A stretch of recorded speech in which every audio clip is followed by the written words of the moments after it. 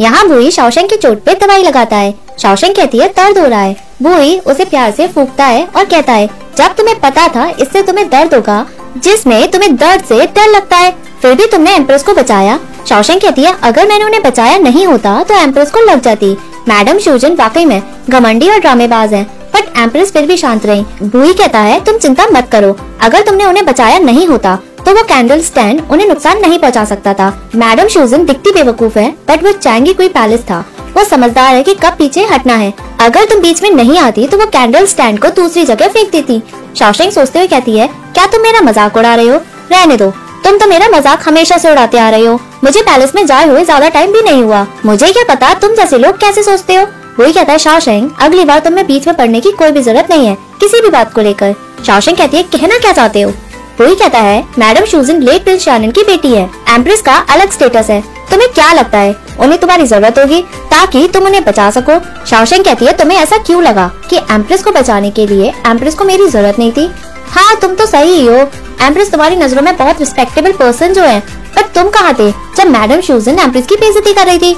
तुम्हें क्या लगता है कि किसी स्ट्रॉन्ग पर्सन को प्रोटेक्शन की ज़रूरत नहीं? वही कहता है, तुम्हारा क्या? शाओशेंग तुम जैसी स्ट्रॉन्ग पर्सन को मेरी प्रोटेक्शन की ज़रूरत नहीं। तभी बाहर से आवाज़ आती है, हम मार्केस चीलिंग रेजिडेंस में पहुँच गए हैं। वही कहता है, अब हमें यहाँ से चलना चाहिए। वो उठकर बाहर चला जाता है। शाओशेंग भी उठकर बाहर आती है। वो कैरेज से उतरती है। शाओशेंग जैसे ही आगे बढ़ के जाती है, तभी भी कहता है शाओशेंग जब मैं पंद्रह साल का था, तब मैंने कुल्लू माउंटेन में सी की तरह बादलों को देखा, जो वहाँ तैर रहे थे। वो बहुत ट्रू और प्योर थे। उसे मैंने अपने दिल में बस बसा लिया। अब जैसे तुम मुझे इस तरह से देखती हो जब हम हुआ काउंटी में थे, मुझे पसंद है। तुम मुझसे खुलकर बात करती हो।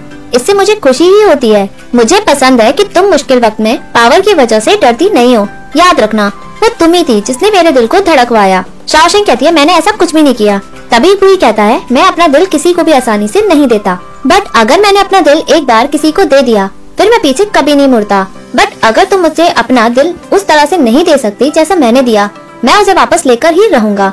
वो ये कहकर वहाँ से चला जाता है। शाओशेंग उसे जाते हुए देखती है। यहाँ थर्ड प्रिंसेस अंकल को कहती है thank you uncle madam Susan बस अपने छोटे भाई की चिंता करती हैं। वो भी पैसों को लेकर। हमने तो सिर्फ़ चारा बार छोड़ा ही था। उसने तो उस चारे को लेकर कॉइन बनवाने तक पहुँच गई अंकल कहता है, मैंने उसके एजेंट को खरीद दिया है। जब सही वक्त आएगा, हम सभी कॉइन के कम दाम में खरीद देंगे इससे तुम अपनी वेल्थ बना पाओगी। उससे तुम और आसानी से पैसे खर्च कर सकती हो।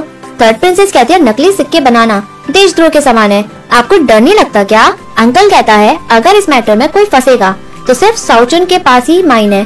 सारा इल्ज़ाम यंग प्रिंस शानन के पास जाएगा। मैडम श्यूजन ने उसे करने को मना कर दिया था। हमारा सिर्फ़ एक ही क्राइम होगा, वो भी सिर्फ़ नकली सिक्कों का यूज़ करना। थर्ड प्रिंसेस हँसते हुए कहती है, अंकल, आप तो उस्ताद निकले।